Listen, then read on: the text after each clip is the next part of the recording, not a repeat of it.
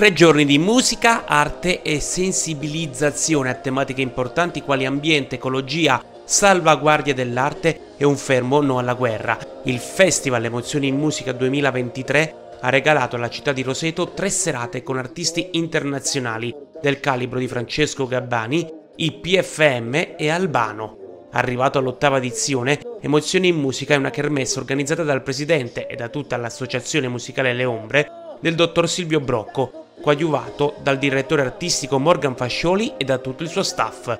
Parafrasando la musica italiana con la nota canzone di Fred Bongusto, il Festival Emozioni in Musica è partito nel 2014 da una rotonda sul mare, crescendo sempre di più di anno in anno e resistendo anche allo stop imposto dalla pandemia. Tantissimi artisti si sono alternati nel corso delle varie edizioni, tutti del calibro internazionale. Massimo Ranieri, Enrico Ruggeri, Patti Bravo, Fausto Leali, Roby Facchinetti, Edoardo Bennato, Gli Stadio e tanti altri.